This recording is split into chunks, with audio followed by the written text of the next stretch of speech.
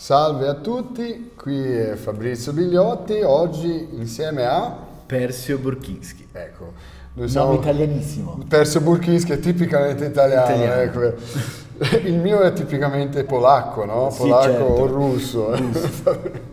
no, stiamo scherzando. Vabbè. Eh, io e Persio siamo eh, professori da molti anni, Persio più di me, eh, della scuola Millennium, che oggi è il centro linguistico della facoltà Cheppe Paceco, della facoltà trilogica Cheppe Paceco. Persio è professore anche di, non solo di italiano ma di inglese e di francese. Eh? Sì. Lui è traduttore, interprete, professionista e poi anche amministratore di imprese. No? Sì, sì. io già mi sono presentato tante volte quindi non, è, non ce n'è bisogno ma oggi siamo qua per dare continuità, insomma, per continuare un po' eh, la, l'argomento di cui abbiamo trattato la settimana passata. Voi sapete che nella scuola Millennium e anche nei corsi della facoltà trilogica che è Ceco eh, noi offriamo eh, vari tipi eh, di corsi e noi, eh, poi lo vedremo al, nel finale, comunque inizieremo la prossima settimana un corso sui eh, blocchi psicologici eh, riguardanti principalmente l'apprendimento, eh? nel nostro caso apprendimento di, di, lingue possiamo dire. È un corso molto importante anche perché la questione diciamo così, dei eh, blocchi psicologici è una cosa molto comune. Noi quando ci sono studenti che vengono nella nostra scuola, Persio, e dicono ah io ho già studiato non so quanto tempo ma non so niente, non, eh, non, eh, non riesco a parlare, non riesco così ad esprimermi con molte difficoltà. Quindi è un problema, diciamo, questo dei blocchi anche nell'apprendimento, nel caso specifico di lingue, ma poi vale anche per altre eh, circostanze. Vale per, no? uh, per l'impresa, molta, uh, ci sono molte persone che hanno, che hanno difficoltà di crescere nella, nell'impresa oppure uh, di fare un corso uh, di più perché non hanno tempo, esatto. sempre hanno qualche scusa per non uh, svilupparsi. Sì, sì. Eh, eh, questo è comune dappertutto, non solo con le lingue. E infatti nei nostri corsi penso che succede, la persona non solo studia le lingue, per esempio, ma eh, attraverso anche un po' quei temi che, di cui noi trattiamo appunto durante le lezioni, eh, la persona comincia a percepire molte questioni riguardanti per esempio la vita lavorativa, eh, la vita anche proprio delle relazioni così interpersonali e quindi uh, e anche la salute, no? Sì. Grandi benefici. Eh, anche interpersonale, come tu hai, perché tu hai detto, molt, molte persone dicono, ah io non riesco a trovare eh, la persona, io... la mia anima gemella. La mia anima gemella. Io non riesco, perché? Perché sempre cerco qualcuno che è sbagliato per eh. me. Eh, la st- la stessa, lo stesso esatto. problema nella lingua è lo stesso problema nella, sì, sì, nelle sì. relazioni. Nella... E possiamo dire che sostanzialmente è un, è un concetto legato soprattutto alla questione affettiva. Eh? Quindi qualunque cosa si faccia nella vita, sì, quando si studia una lingua, quando si lavora, quando ci rapportiamo, ci relazioniamo ad altre persone, la, diciamo che la base, l'origine del problema è sempre la stessa, è una difficoltà che le persone hanno prima di tutto con la parte affettiva. No? E eh, il, diciamo, libro su cui noi oggi basiamo la, questo nostro diciamo, intervento, questo nostro incontro, questo nostro incontro è il libro La glorificazione, che per il momento è, la, abbiamo posto la copertina in portoghese, ma pre, eh, molto presto ci sarà anche in italiano, è già stato tradotto e è in fase così di, eh, lo stiamo finalizzando, stiamo terminando. Allora, eh, ricapitolando un poco quello di cui abbiamo parlato la settimana scorsa, è importante anche percepire che per esempio nella metodologia anche di studio delle, delle lingue o comunque nella nostra metodologia di studio anche dei corsi della facoltà Cheppe Paceco, la trilogia analitica è il, diciamo, il punto, la base fondamentale. No? E come abbiamo visto la settimana scorsa, Esistono tre basi sostanzialmente della conoscenza, la teologia, la filosofia e la scienza. Ok? Questi eh, tre punti fondamentali, diciamo così, eh, della conoscenza umana e tre eh, aree fondamentali anche della, della società. E Norberto Keppe nel suo lavoro, che è transdisciplinare, possiamo dire, no? Riporta questi tre settori insieme, non separando come oggi, eh, come a, a succede oggi, la scienza è separata dalla teologia, dalla filosofia, sono tre aree apparentemente, eh, che, che, apparentemente non hanno relazione una con l'altra. Ed Norberto Keppe mostra invece no, che i principi che valgono nella teologia sono gli stessi che valgono nella filosofia e gli stessi che valgono nella scienza. Eppure se non c'è, se c'è un problema in uno di questi, allora c'è un problema in tutti gli altri. Esattamente. Quindi.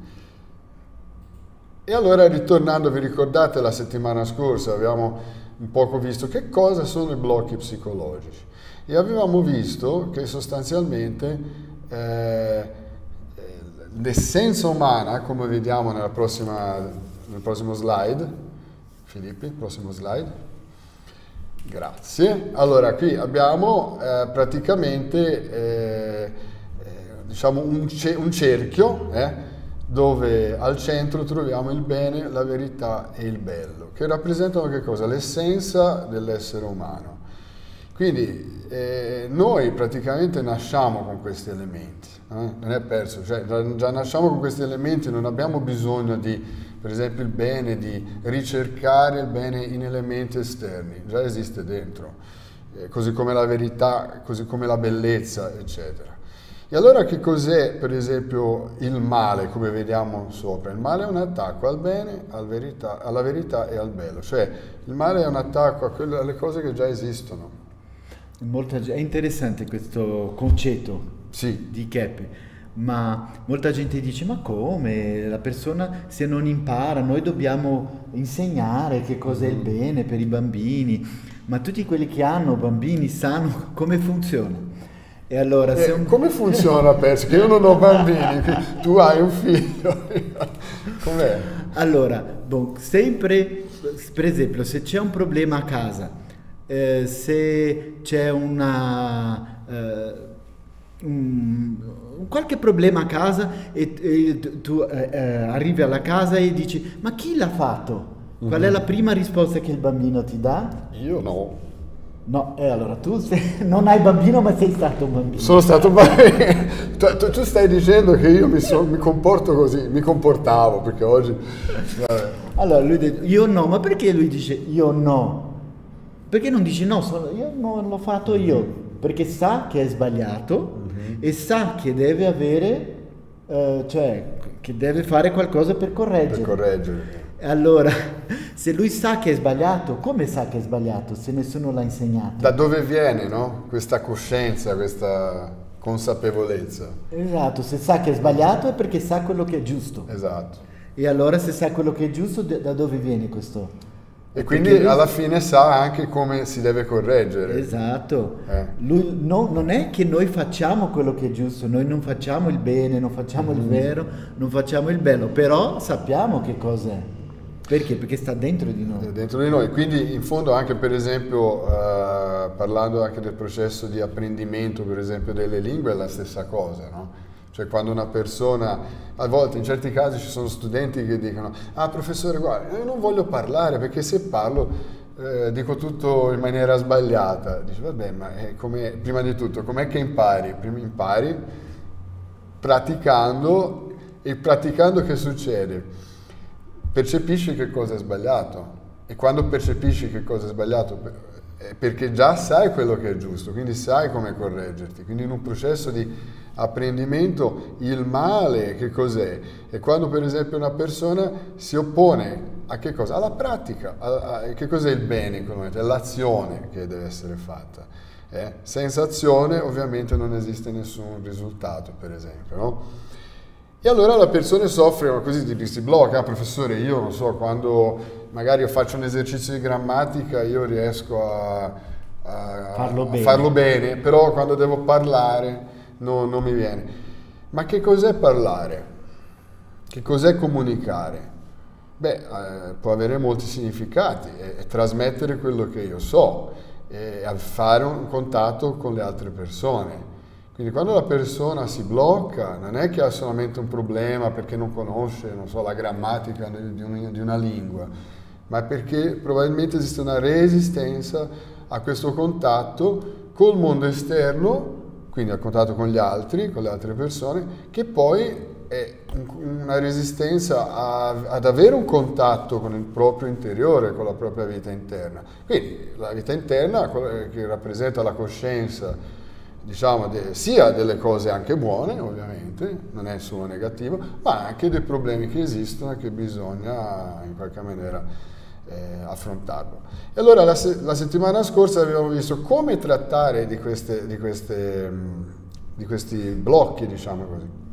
Qua abbiamo un nuovo grafico eh, eh, che mostra come nella psicoanalisi, nella, tri, eh, nella trilogia analitica, il problema qual è? La negazione, l'omissione o deturpazione della coscienza. Che cosa rappresenta quindi questa negazione, omissione e deturpazione della coscienza? È il rifiuto di quello che già esiste dentro di noi, che è la luce, la conoscenza del bene, quindi questo rifiuto della conoscenza del bene, che sarebbe l'invidia in termini psicologici, scientifici, cioè il fatto della, di non vedere. Eh? Invidia viene dal latino invidere, che significa non vedere.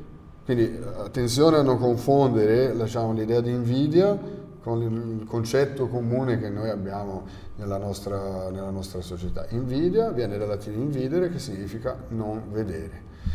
Quindi non vedere il bene che noi rifiutiamo e soprattutto il male, cioè il male che è la negazione, l'omissione o la deturpazione della coscienza. Ma quello che è interessante, sì. beh, principalmente del male, ma quello che noi abbiamo più paura è la, uh, cioè la coscienza del bene uh-huh. che noi abbiamo dentro di noi. Perché? Perché quando sappiamo, quando conosciamo il bene, uh-huh. quando abbiamo coscienza del bene, fare il male è molto più difficile. Eh. E allora, perché noi vogliamo fare il male, sì. Allora non vogliamo avere coscienza Quindi penso tu stai dicendo che la persona non vuole avere la coscienza del bene per continuare a comportarsi male. male. È come con, come il bambino, bambino. esatto, che lui sa quello che è giusto ma sì. non fa il giusto. Sì, eh, e, e se tu eh, lo punisci, lui dice no ma sei ingiusto, quello non è... No, ma se lui ha fatto quello che non è eh, no. giusto deve essere punito.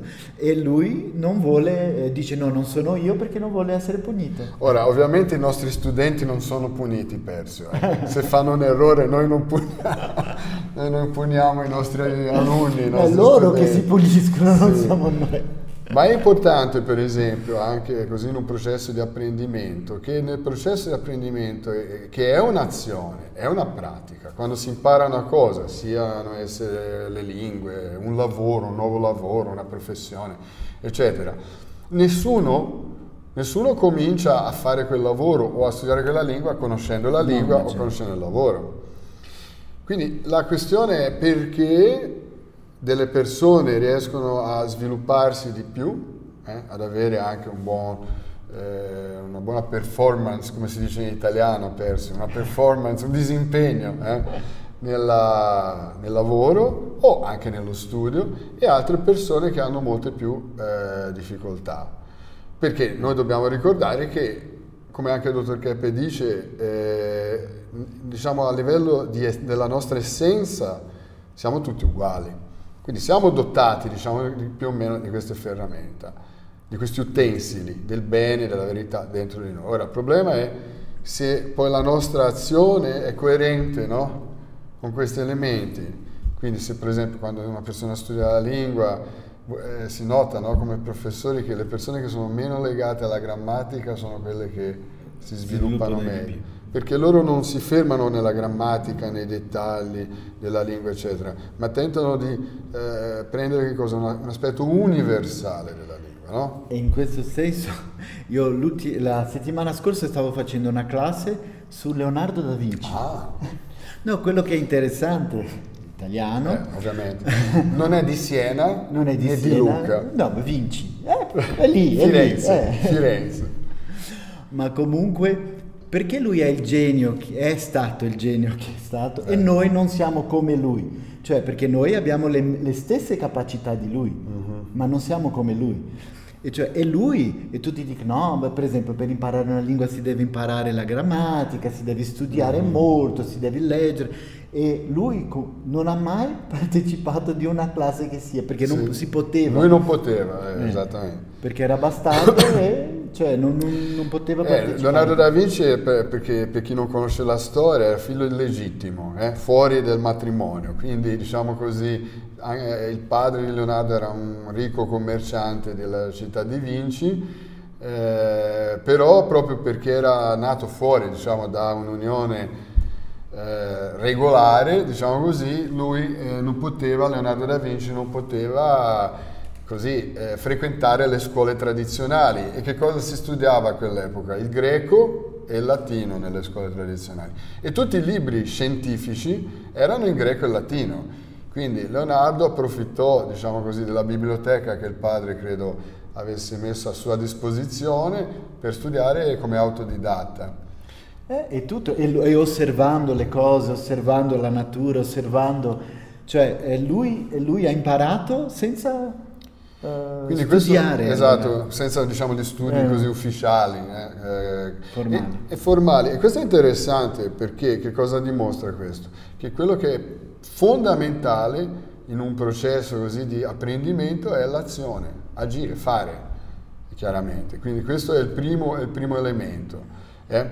Allora, continuando, adesso ci sono, diciamo, abbiamo, uh, presto vedremo un video, ma c'è questa frase di Norberto Cheppe che dice niente è conosciuto se non è amato. Persio, com'è che si può spiegare ai nostri amici dall'altro lato questa frase? Niente è conosciuto se non è amato. Eh, perché come tu puoi avere un, un, uh, diciamo, un interesse in imparare qualcosa se tu non ami quello, quello soggetto, se non, non, non si interessi per quello.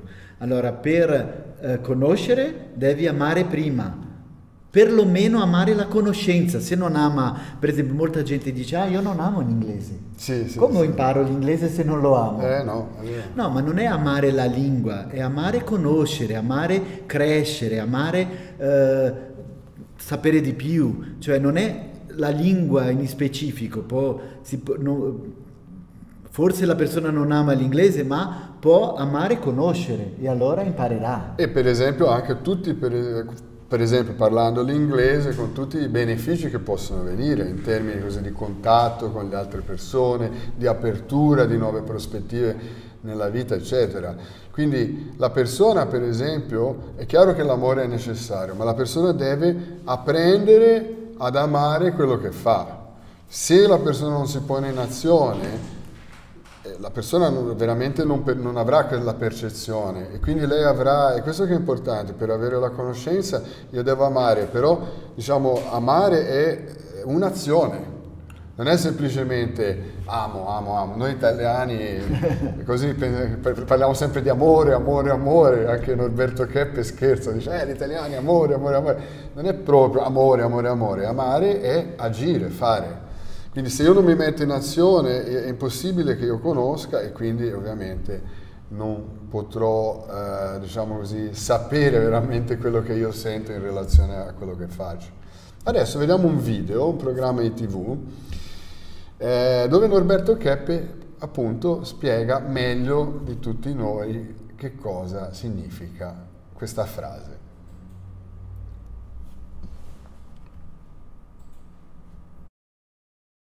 Eu gostaria de explicar algo que eu reputo que foi um grande engano, principalmente da filosofia, da questão do conhecimento. A filosofia em geral mesmo essa filosofia perfeita que se chamou escolástica, que veio tanto de Platão como de Aristóteles, e Tomás de Aquino e Anselmo principalmente, essa filosofia diz o seguinte, que nada é querido que não seja conhecido. Então, colocando a questão do conhecimento como a base da vida Então eu coloquei uma frase ao contrário. Eu estudei essa questão na psicopatologia e notei que o conhecimento vem da emoção de amor, né? principalmente do amor, o afeto. Né? É por isso que a questão de gostar, gostar do mundo, gostar da vida, gostar de uma pessoa, gostar de tudo, significa um conhecimento que a pessoa vai tendo através dessa aproximação afetiva. Tanto assim que as pessoas sábias são as pessoas que têm mais amor no coração. As pessoas que conhecem mais, as pessoas que trouxeram grandes revelações para a humanidade, são as pessoas que têm mais afeto. Então, eu gostaria que a Bia colocasse aí a sentença que fala dessa questão. Aí, nada é conhecido se não for amado. Então, o que eu quero dizer é isso, é que a questão do afeto nunca foi analisado pela filosofia, porque não dizia respeito à vida intelectual, ao conhecimento, e sendo que a pessoa só conhece realmente aquilo que ela ama. Então vamos dizer, ou a pessoa doente, né, que tem muita raiva de uma pessoa, então ela não tem a menor ideia como é aquela pessoa. Agora, se ela gosta do outro, mesmo que seja o inimigo dessa pessoa, se ela gosta, então ela é capaz até de relevar né, o ódio que aquela pessoa tem por ela. Compreende? Então é a questão do amor que a pessoa tem é que faz o verdadeiro conhecimento. Che bella spiegazione, eh? È, è, molto interessante quindi vedere che eh, quello che impedisce la nostra conoscenza eh, sono tutte quelle emozioni eh, di rancore, di rabbia, di angoscia, di irritazione che noi nutriamo nei confronti di altre persone o di altre situazioni. No? E sono questi elementi che rendono più difficile l'apprendimento anche. Prima di tutto non conosciamo gli altri e poi anche quando per esempio impariamo una professione, impariamo una lingua, questo diventa più difficile, no? Eh, le persone che producono molto, quelli che, gli artisti per esempio, devono amare molto perché se non, non amano non è possibile fare come Morricone che eh. ha fatto questo fine settimana. Immagine quello che lui ha lasciato per noi, la sua musica. È, è eterno. È eterno, eh. è un amore eterno. E eh, infatti detto Morricone è morto a 92 anni e credo che lui abbia fatto l'ultimo concerto, abbia diretto l'ultimo concerto, se non mi sbaglio, in aprile o maggio eh, dell'anno, dell'anno passato. Quindi lui praticamente fino alla fine comunque ha, ha, lavorato. Quindi vedete, cari amici, questo vale per noi italiani che amiamo l'ozio, eh? che abbiamo fatto dell'ozio una, dire, una, una, un elemento di vita, ma in realtà, diciamo così, è importante invece il lavoro, l'attività, questo interesse. Quindi questo interesse che la persona ha per fare quello che fa è l'amore è un amore, perché? Perché poi la persona lascia, come ha detto Persio giustamente per l'appunto con, le, con, l'esempio di Morricone, lascia una grande eredità all'umanità. Leonardo ha lasciato una grande eredità all'umanità, Verdi, Puccini, Rossini, eccetera. Questi sono per, per citare gli italiani, insomma, nella musica, eccetera, no? E dottor Keppe dà sempre un esempio che mm. mi piace molto, che è del medico che lavorava nel, nell'ospedale Das Clinicas qui a San eh, Paolo. Eh, Policlinico di San Paolo, sì. E, e lui dà sempre questo esempio che, esempio che uh, c'era questo medico, il suo padre era uh, pastore mm-hmm. della, della, chiesa luterana boh, e lui non, non, credeva molto a Dio mm-hmm. e, e, poi lui, uh, lui, ha detto una volta al dottor Keppe che lui non si sentiva com, come dice, completo perché pensava che facesse il suo lavoro ma che c'era questo problema con Dio che lui non credeva molto eccetera il suo padre era sì. pastore e il dottor Keppe gli ha detto ma tu, se lei fa questo lavoro che fa, fa con amore, con affetto e che guarisce tanta eh. gente, che fa un lavoro tanto importante per l'umanità, importante perché le persone che vengono... Eh, ci vadano, avevano tanti problemi e lui li curava, li eh, come guariva medico, certo. come medico, eccetera. Allora, facendo questo lavoro, è un lavoro divino, sta facendo qualcosa anche per Dio, sta facendo una cosa eh, che è teologica. Sì, sì, sì. Allora, eh. anche se non crede, cioè, nella, no, dico non credo, lui credeva, però anche se diciamo, non, non frequenta l'istituzione eh. religiosa in una maniera così, eh, diciamo, regolare, eh, disciplinata, eccetera, non significa che la persona non stia facendo un grande bene all'umanità, e quindi è una grande espressione di amore. Eh. Ok? Quindi, eh, certo. Ora, qui nel prossimo, nella, prossima, nel prossimo slide, nella prossima slide, diapositiva, qui ci sono le tre più grandi difficoltà per l'umanità. Quindi queste sono importanti per comprendere perché si creano questi blocchi.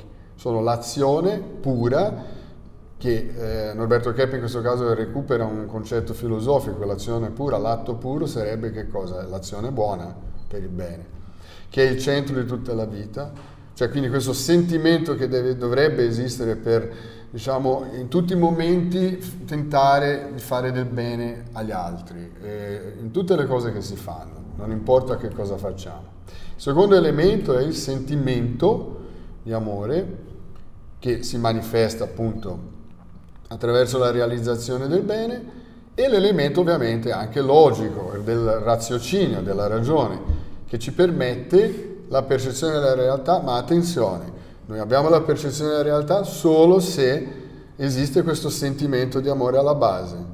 Se non c'è questo sentimento di amore alla base, quindi questa azione coerente, noi non percepiremo la, la, realtà. Se neghiamo questo amore, per esempio attraverso un sentimento di rabbia nei confronti di una persona, nei confronti di quello che facciamo, ovviamente non avremo un raziocinio corretto e quindi non giungeremo alla percezione della realtà.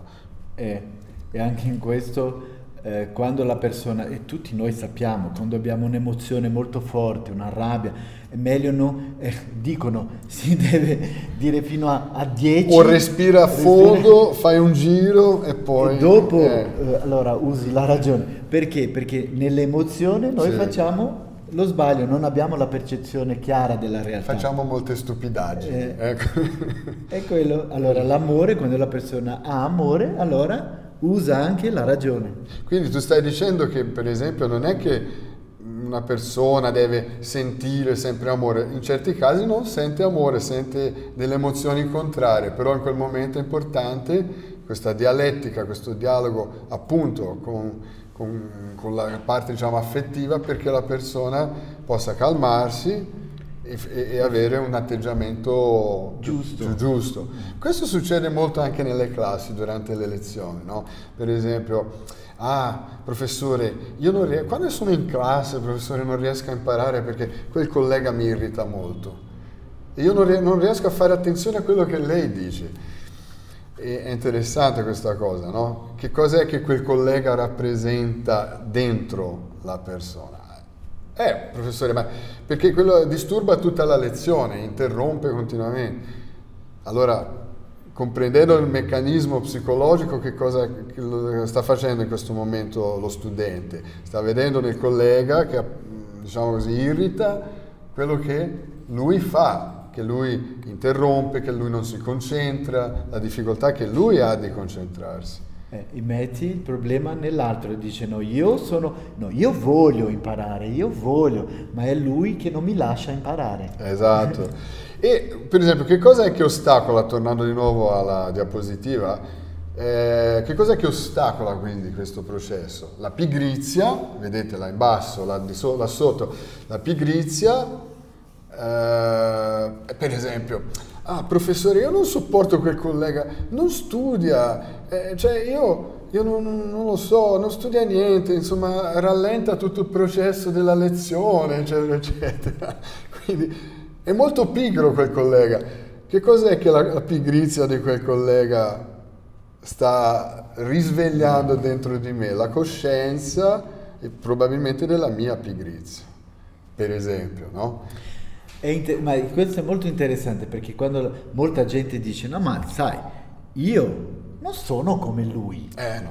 io sono molto diverso e a volte, come dire, esteriormente è Sì. diverso. Una persona può essere molto timida, l'altro molto sveglia. estroverso, eh, esatto, sì, sì. Ma, e che sono completamente diversi, cioè esteriormente, ma internamente quello che lei fa con le sue conoscenze, allora, è uguale a quello che lui fa. Alla fine il risultato è se- lo stesso. Perché la- la- l'attitudine esterna non è la stessa che l'interna. cioè- Esattamente.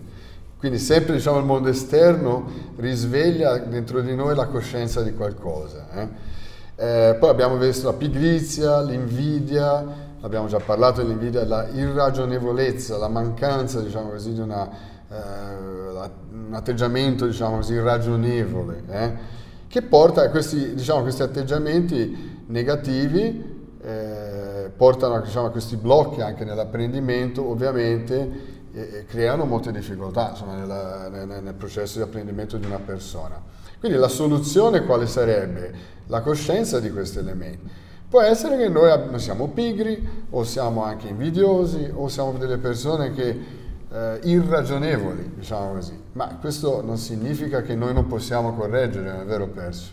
Quindi noi possiamo correggere queste cose. Il problema non è avere il problema, il problema è non vedere il problema, Che si ha, eh? perché quando si vede che succede, si, si corregge, quindi questo che è importante.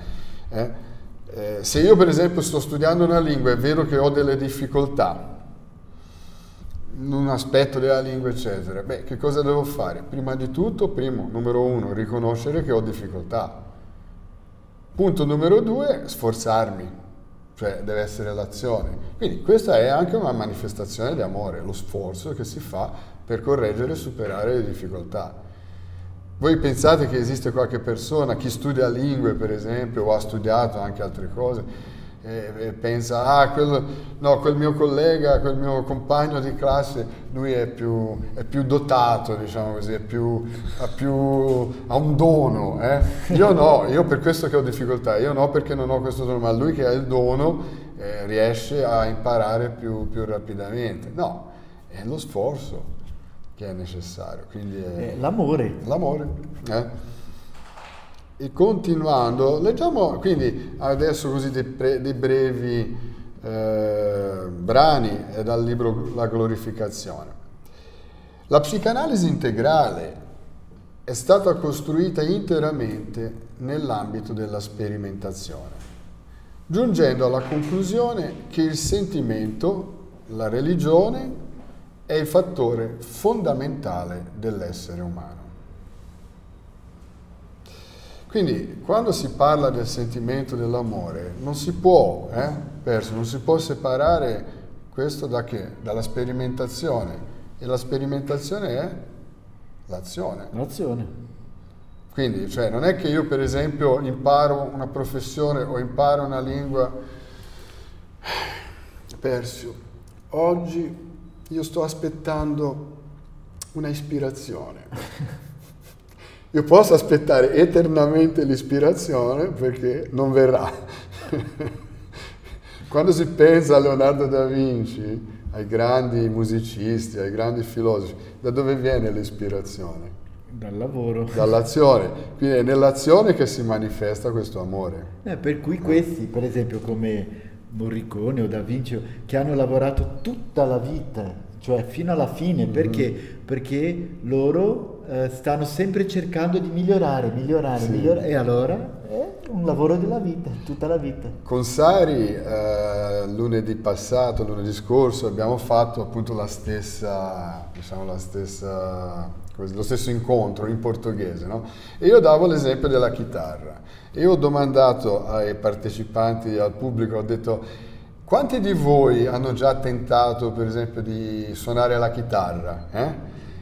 Eh, immaginando i grandi eroi, i nostri idoli che suonano pa- e, e noi ci immaginiamo sul palco suonando, facendo quei- quegli assoli incredibili. Allora in questo- in questo entu- con questo entusiasmo noi diciamo ai nostri genitori, papà, mamma, Voglio." voglio una chitarra.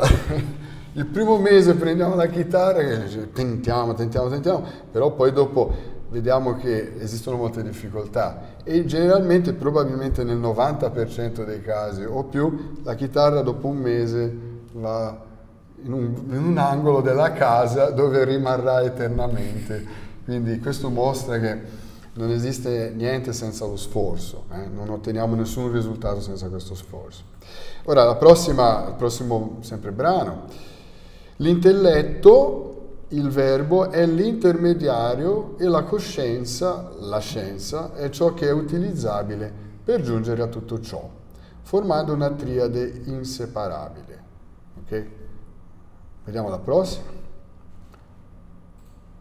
Tuttavia, il sentimento che è l'amore è la base di tutto.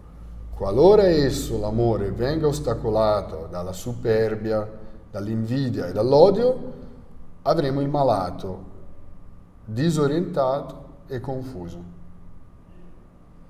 Quindi, questo, diciamo così, eh, ci mostra come di fatto il processo di apprendimento, questi blocchi, eh, alla, loro, alla, loro, origine hanno questa negazione eh, che viene da, da, da, vari fattori, diciamo, ha origine in vari fattori. Ma eh, diciamo, se noi vogliamo avere, come dire, una specie di, eh, come posso dire, un, un, riferimento, eccetera, pensiamo questo.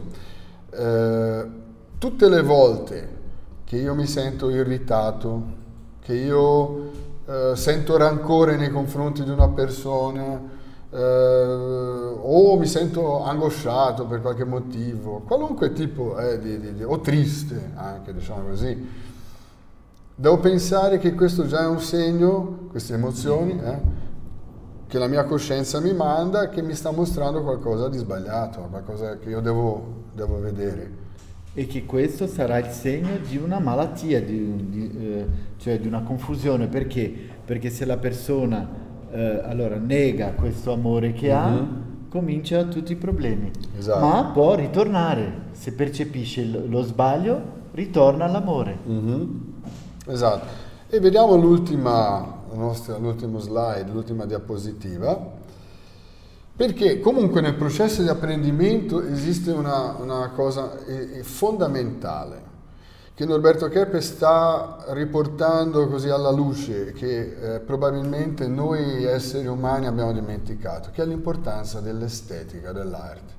Come si vede nel grafico, nel processo di apprendimento esiste un elemento, la trascendenza, eh, eh, dove c'è scritto là transtipi. Questi transtipi non sono altro che quello che oggi, diciamo, Norberto Chepe chiama gli elementi universali.